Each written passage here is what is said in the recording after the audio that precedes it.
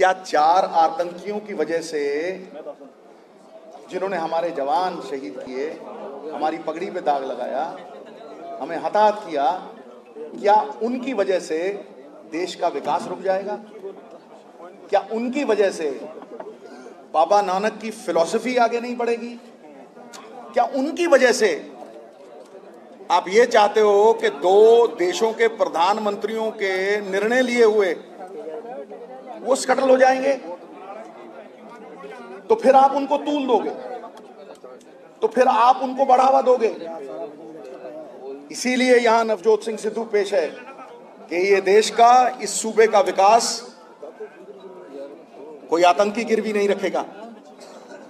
और ये जो आज अनाउंसमेंट्स हुई हैं, पिछले सत्तर साल देख लीजिए। क्या कोई ये दम रख के ये अनाउंसमेंट्स कर पाया है? एक एक देश को आतंकियों के आगे कोई झुका नहीं सकता। ये बात बड़ी स्पष्ट है, इसीलिए नवजोत सिंह सिद्धू यहाँ है। घुटने टेकने वाला नहीं है। दूसरी बात जो मैं आपको आज करना चाहता हूँ। मेरी बात जो होती है ना, उसको डिस्टॉर्ट किया जाता है। एक लाइन बोली जाती है उसमें उसको पूरी तरह से दिखाया नहीं जाता क्योंकि बहुत लोग भयभीत होते हैं। समझ रहे हो ना? इनसिक्योर भी होते हैं। लेकिन मैंने यही कहा था, जो कल कहा था, आज भी वहीं खड़ा हूँ, कि आतंकवाद का ना कोई धर्म है, ना कोई मज़हब है, ना कोई देश है, ना कोई साथ है। और जैसे लोहा लोहे को काटता है, आग आग को काटती है, सांप जब टंक मारता है तो उसका एंटीडोट सांप का विष है। वैसे ही कुचला जाना चाहिए। कि मैंने ये कहा था कि जहाँ जहाँ ऐसा होता है वहाँ अच्छाई का द्वार खुला होना चाहिए और बुराई को कुचलना चाहिए। सर आज गुलाम नबी आज़ाद एक मिनट, एक- एक मिनट। कहा कि वो बात क्यों नहीं होनी एक मिनट एक मिनट एक मिनट। तो भाई जो कल एम्बेसडर से हो रही थी वो क्या था? प्रोटेस्ट को बुला के एक मिनट एक मिनट एक मिनट एक मिनट एक मिनट एक मिनट। सुनिए मैं मेरी बड़ी सिंपल सी बात है। फिर आप जो करना चाहें कहिए करिए। यही कहा था कि भाई, इसका परमानेंट सोल्यूशन निकलना चाहिए।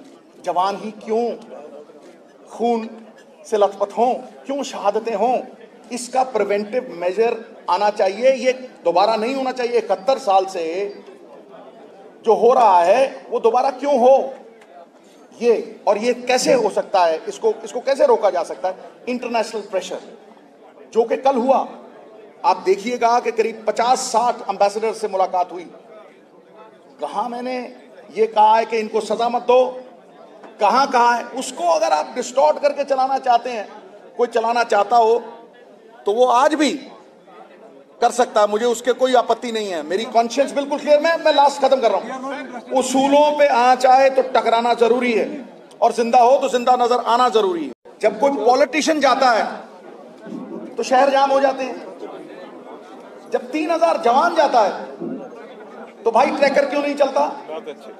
तो फिर भाई उन जवानों की जो हमारी सुरक्षा के लिए रात दिन लगाते हैं उनकी सुरक्षा का ध्यान क्यों नहीं रखा जाता?